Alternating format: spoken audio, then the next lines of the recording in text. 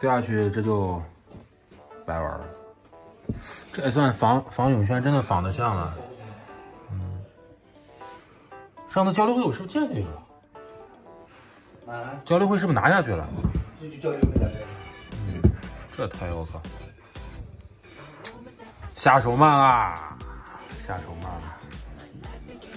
错过这电视没了，这就是前天还是前天为什么拿过来？这几天卖了好多。嗯，下手慢，下手慢。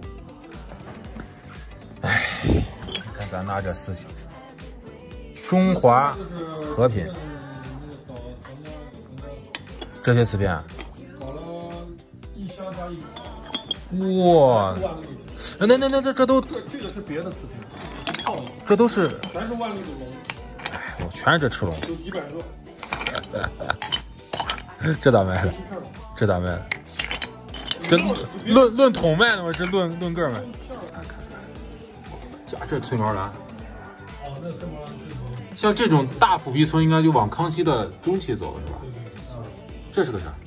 哎呦，我操我操，这感动吗？这好像是个明代的，元元元代的，元代的元代釉里红，学习一下。这得多少钱？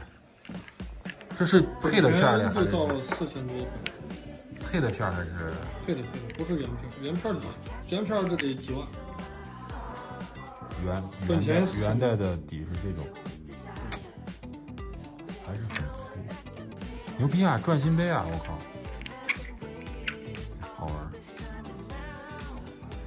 这你像这种片儿，你就可以卖，你卖个三百，它这种片儿好像不不都是元代的釉里红片儿吧？里边好像有都是元代釉里红片儿啊？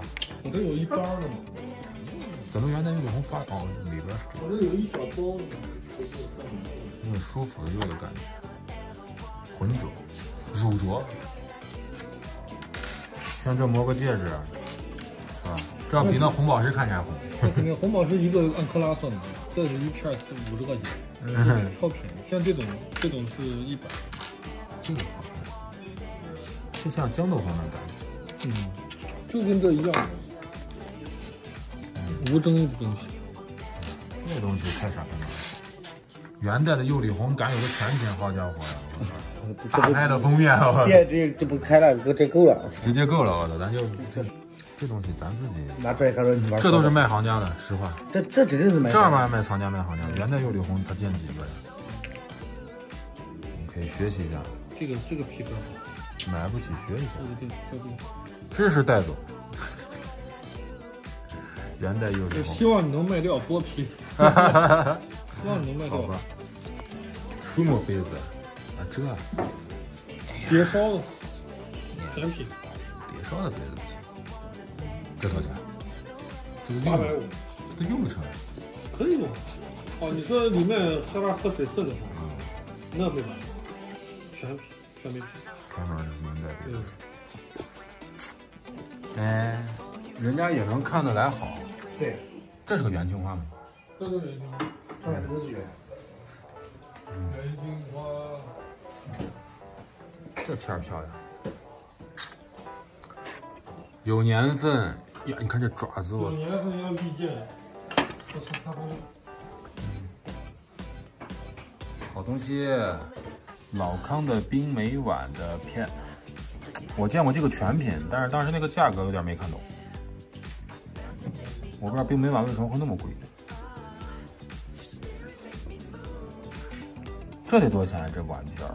一买来两百八，这，呃，两百八呀。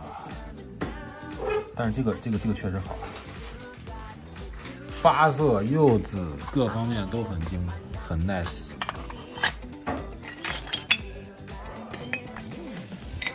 这是个啥？中期的，这漂亮。嗯嗯嗯，康熙的。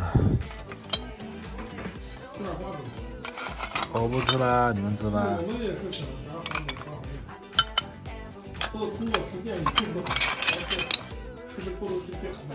最好卖的成本，过渡期的东西，同行都给你拽去了。厂里就买了，厂里就买了行里哪儿都走。我们这是卖是卖行里的，行里没人来。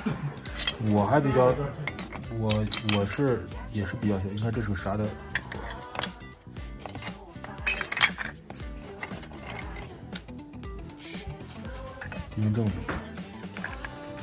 小妙用上了。这个，这个你们，你们收获没有？瓷片儿，这个是瓷片儿。那个